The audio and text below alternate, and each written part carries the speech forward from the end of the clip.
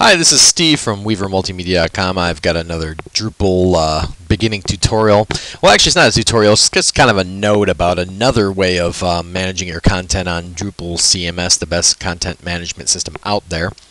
Um, well, what I've been using in my other tutorials is this uh, handy administration menu module, which uh, keeps everything up at the top, and you can scroll down and change your content, your blocks, your themes, whatever you have pretty easily.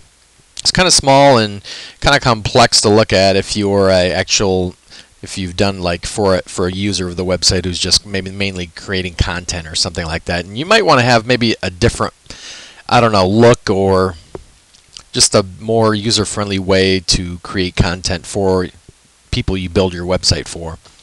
Well, there is help for that. Um, I found a new administration menu uh, module that might be able to help you out.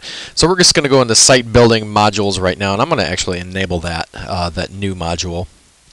I don't know how new it is, but it's different. Okay, I'll go down here to the administration, and we see that here's our old one, administration menu. I love it. I'm going to use still use it, but for someone who I'm going to build a site for, I'm going to use this admin menu after I'm done. So I'm just going to switch that on and switch this other one off and save that and we're going to see what it looks like after it saves here a little bit. All right. Oh, bam! So something popped up here on the side. It's uh, big black. You can actually read it a little better. Um, you can um, what what's cool is up here at the top there's just a create content link so if they wanted to create content boom they're there blog entry book page forum page whatever you have um, events and you know really easy way of doing that if you're just you know creating content on the site. Um, they can actually go into their account and view their account edit their account and log out from there which is really a lot easier maybe than the other menu depending on your preferences. And you can also go into the administer just like the other things. You'll see the blocks modules themes.